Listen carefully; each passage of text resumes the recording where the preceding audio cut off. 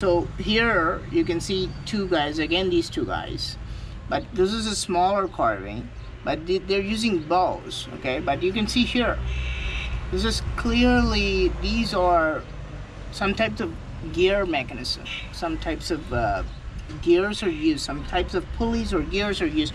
And you can even see that the pulleys are attached to something here. So each pulley is not freestanding, it's attached to something here. So it's kind of a weird technology that they're using, okay? It looks like a bow, but it, does, it kind of has this gears attached to it.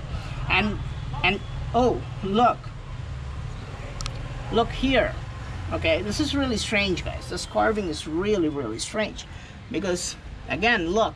It looks like just a regular thing. Mostly people think these are flowers.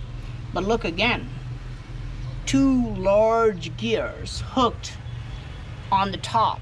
Like what what is that? Like two turbines of an airplane. So what, I don't know what this is. So so we have these two um, gears here and then we also have these two and then also have these two.